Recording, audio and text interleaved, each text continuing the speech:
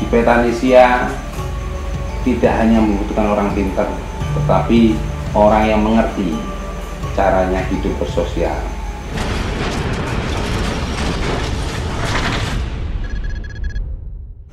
Petanesia adalah sebuah organisasi kemasyarakatan yang visi misinya mempersatukan umat, mempersatukan bangsa lewat kemajuan ekonomi, kemajuan budaya, kemajuan pendidikan, berbagai bidang yang mengarah pada ketahanan nasional.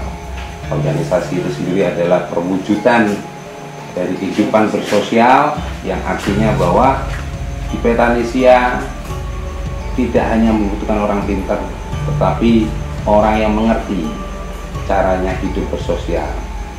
Orang yang mengerti caranya bagaimana membina sebuah jaringan perkawanan, persaudaraan, karena bangsa Indonesia terlahir dari rasa persaudaraan, kawanan, demi persatuan umat.